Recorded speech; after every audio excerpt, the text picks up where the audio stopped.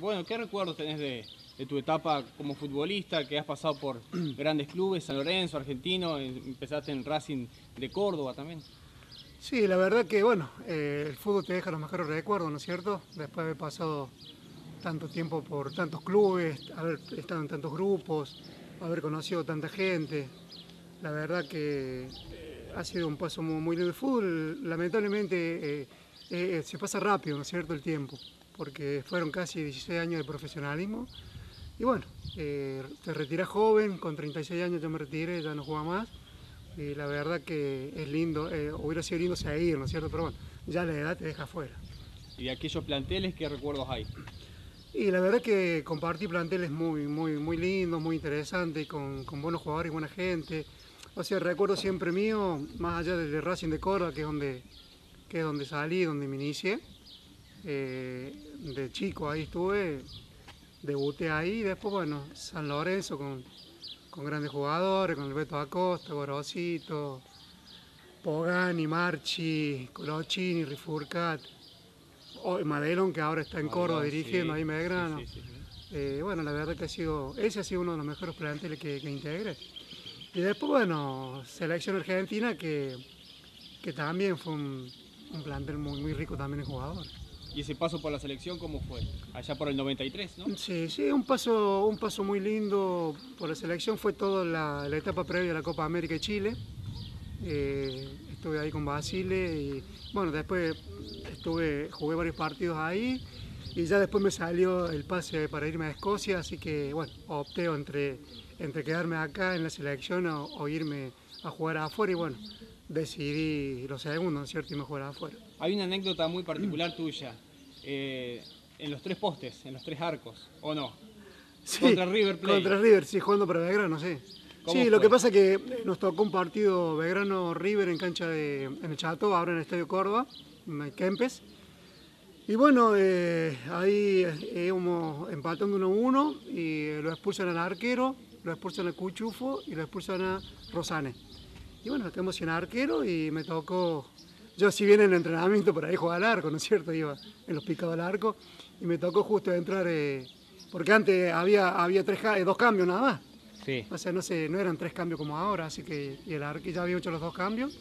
Y bueno, me tocó ir al arco, lo reemplacé al arquero nuestro. ¿Y quién fue la decisión de que hayas ido El técnico. El técnico. Sí, íbamos uno a uno y bueno, un delantero que era yo, eh, me fui abajo los tres palos y justo en un penal. Así que me hizo, me hizo el gol de penal Rivarola y bueno, después 5 a 1 también. Se vino de 5 a 1, te pusiste la camiseta al revés, con el 1 para adelante. Que era la, la camiseta cancelarich. sí, me la puse la camiseta con el 1 para adelante.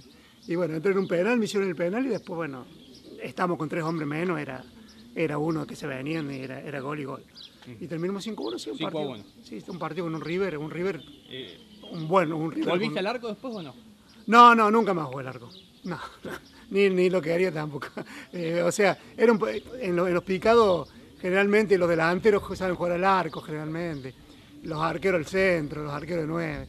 Y bueno, yo en los picados me, me prendí al arco. ¿Algún gol en particular que recuerdes? Y yo creo que, yo creo que el mejor gol que hice en mi carrera fue el gol que hice a Brasil con, con la selección. Yo creo que ese, más allá del significado que tuvo, ¿no es cierto?, un clásico, eh, fue un gol, un, un, gol muy lindo, una media vuelta al ángulo la verdad que fue uno de los mejores goles que hice. ¿Seguís contactándote con esta gente, con estos jugadores?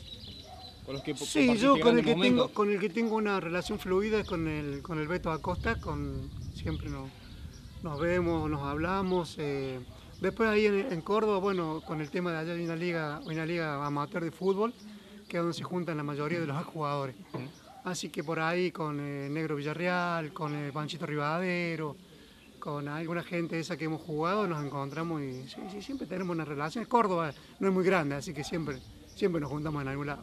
Te lo preguntaba fuera de cámara un poco, ¿estás en actividad? ¿Hay algún picadito por medio? ¿O por ahí la lesión que me contabas? Sí, lo que pasa es que hace un par de años que estoy con, con el tema de menisco que me tengo que operar y no me opero nunca. Y bueno, trato de. Lo que pasa es que mm, juego y después se me hincha un poco la rodilla, la verdad que no me gusta eso y bueno, para seguir jugando y jugar bien y tranquilo me tengo que me tengo que me menisco. El que juega es mi hermano, yo tengo un hermano más grande, juega también en el fútbol, se hace jugar de fútbol de vez en cuando. ¿Como Víctor Hugo no? Eh, no, juega mejor. puesto? Eh, juega, él, él juega de 6. De seis. Eh, nada más que tiene berretín de delantero, cosa que no es. Él se cree que es delantero, pero no es delantero, él juega de No. 6. No, juega muy bien, eh, si bien está un poquito gordito ahora, pero es muy buena, es, es un muy buen jugador. Muy buen jugador. Sí, y un sobrino tengo también que juega bien, pero bueno, eh, se, se dedica a otra cosa. Bueno. ¿Asados acá? ¿Qué te Por parece supuesto. lo asado en Terriano, en Ramírez? Eh, sí, no, ¿sabes lo que me llamo de Ramírez? Muy buena gente. La verdad, excelentísima la gente, muy servicial. Y bueno, ya acá estamos en la casa de Ramón, que nos tratan como de la familia realmente. Muy, muy bien, así que, bueno, venimos acá y la verdad que la pasamos excelente. ¿Se habla de fútbol o no? Eh, no, Ramón de fútbol no sabe nada, o sea, no existe, no sabe de fútbol. Él es otra cosa, él es más de pesca, como los hijos, viste, toda esa, toda esa cosa, pero y encima hincha de Quilmes, o sea, no sabe fútbol. Ah, Perdonando a la hincha de Quilmes, ¿no? Pregúntale quién le enseñó a hacer gol en Córdoba. mirá, ¿quién te enseñó a hacer gol en Córdoba? Qué. Ramoncito. Es un, Ramoncito como jugador es un gran tipo. Es un gran tipo. Excelente, jugador. excelente persona. Buen espectador. No, excelente persona. Y la familia es, es lo mejor, lo mejor. La verdad que nos tratan como si fuéramos realmente la familia. ¿La pesca ayer? ¿Se puede contar algo? No, nada, nada. Nada. Nada porque arrancamos a la mañana como para ir a pescar, y, pero llovió todo el día. Lo agarró la lluvia. Claro. Ah, lo refuerzo. Llovió, llovió todo el día, se nos rompió el auto, o sea que no fue un buen día. Realmente no fue un buen día. Bueno.